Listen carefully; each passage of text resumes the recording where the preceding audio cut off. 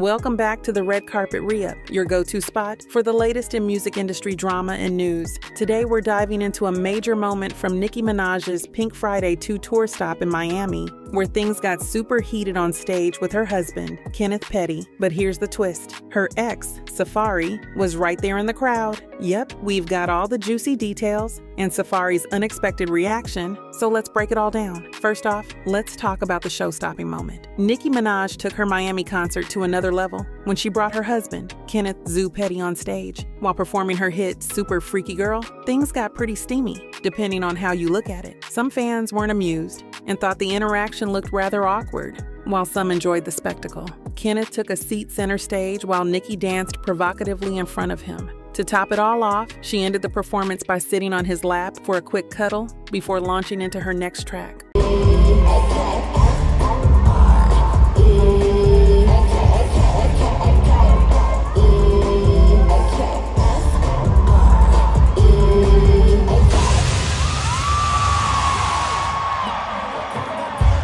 Social media blew up with reactions to this spicy moment, and fans couldn't stop talking about how she made her personal life a part of the show. But what really added to the buzz was the fact that Nicki's ex boyfriend, Safaree, was in the crowd. That's right, Safaree, her former longtime partner, was spotted vibing and enjoying the show.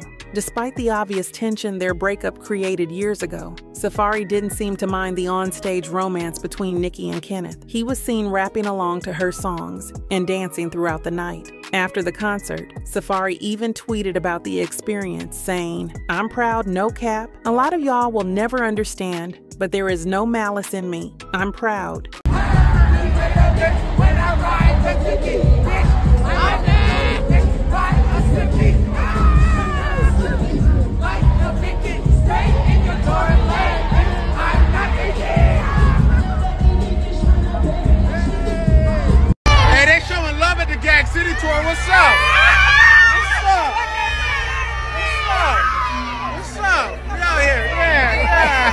It's clear that Safaree has moved on from any past drama, but that wasn't always the case. Now, Safaree has admitted that seeing Nicki with other people in the past wasn't easy. In fact, after they broke up and she started dating Meek Mill, he went through a really dark time. Safari recently opened up about how he felt like the whole industry turned against him He's also shared that Nicki's on screen kiss with Nas in her 2012 Right By My Side music video really hit him hard. He said he didn't even know about it until the video dropped, and it left him feeling hurt. It's crazy how Nicki's past and present collided in Miami, but it seems like Safaree has found peace with everything. Nicki and Kenneth are living their love story on stage, while Safaree is supporting from the sidelines. No malice, no drama. What do you guys think? Would you be able to attend your ex's concert and handle it like Safaree? Let me know in the comments. As always, make sure to hit that like button, subscribe for more updates, and stay tuned for the next red carpet re up. Thanks for watching.